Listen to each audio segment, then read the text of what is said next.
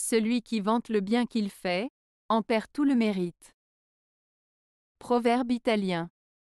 Ce proverbe italien signifie que lorsqu'une personne se vante ou se glorifie des bonnes actions qu'elle a accomplies, elle perd en réalité une partie de la valeur de ses actions.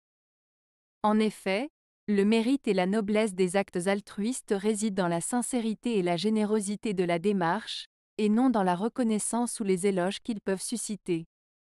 Ainsi, le proverbe souligne l'importance de rester humble et discret quant à ses bonnes actions, afin de préserver leur véritable valeur morale.